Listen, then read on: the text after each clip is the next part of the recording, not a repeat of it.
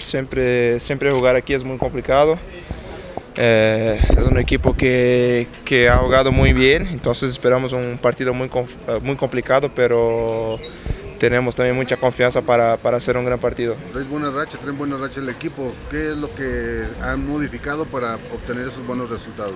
Bueno, creo que dar méritos también al trabajo de Jimmy, ¿no? Eh, ha trabajado muy bien con nosotros. Uh, es un tipo muy, muy dinámico, muy inteligente y, y nos ha ayudado muchísimo a, a rescatar un buen fútbol y, y, ahí están los resultados. El equipo ha jugado muy bien y, y, ha ganado, que es lo más importante. ¿La estrategia de Querétaro es venir a ganar o venir a cuidar el resultado? Bueno, nosotros tenemos un plan de, de juego, ¿no? Que es siempre jugar a, a ganar y, y, mañana no es, no es diferente.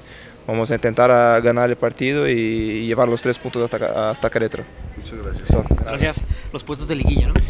Sí, va a ser un partido eh, bastante cerrado, bastante difícil, pero venimos eh, en una línea ascendente a nivel futbolístico y grupal y esperamos estar finitos como, como lo hemos estado las últimas fechas para así conseguir los tres puntos que van a ser importantes para la calificación. Hemos visto un equipo completamente diferente con el Jimmy, ¿no? ¿Qué es lo que él les ha cambiado?